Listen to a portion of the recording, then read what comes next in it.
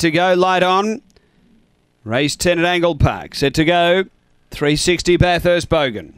Ready. And away, speed here from Bathurst Bogan. It's going to drive. It's going to get the lead. Out a length and a half, Chobani. A couple away, Bobo Bo. bo. Four away, Easy Bets. Our Blue, Shelley, Electra Fiesta, Weather Warning, and Pistolier back at the end. But up front, Bathurst Bogan rolling along. Two and a half, Chobani. Four away, Bobo Bo bo on the turn. Bathurst Bogan clear of Chobani. And Bathurst Bogan beats Chobani. Third, Easy Bets, and then Bobo Bo. Next, Electra Fiesta from Weather Warning. Uh, behind those came Pistolier. It was back toward the tail with our Blue Shelley. The time here, 22 and 57.